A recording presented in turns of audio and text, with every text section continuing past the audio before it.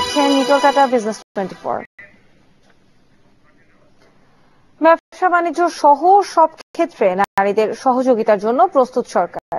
আর এই জন্য তাদের অগ্রযাত্রা অব্যাহত রাখতে বাজেট থেকে বরাদ্দ রাখা হয়েছে।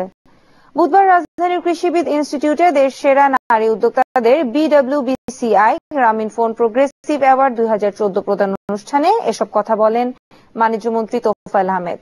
তিনি বলেন, ব্যবসা বাণিজ্যে নারীরা ধীরে ধীরে এগিয়ে যাচ্ছে। আগামীতে অন্য সব ক্ষেত্রেও তারা অগ্রণী ভূমিকা রাখবে।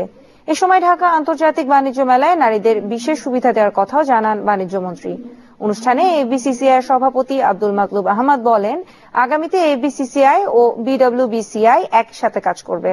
নারীরা অনেক ক্ষেত্রে পুরুষের চেয়েও ভালো করছে বলে মন্তব্য করেন তিনি। অনুষ্ঠানে সাতটি বিভাগের সেরা নারী উদ্যোক্তাদের হাতে পুরস্কার তুলে দেন বাণিজ্য মন্ত্রী। নারী ব্যবসায়ীদের জন্য একটি ওয়েব পোর্টালও উদ্বোধন করেন তিনি। যে সক্ষমতার ব্যাপারে। এবং আমরা রংপুর বিভাগে বাস্তবায়ন করা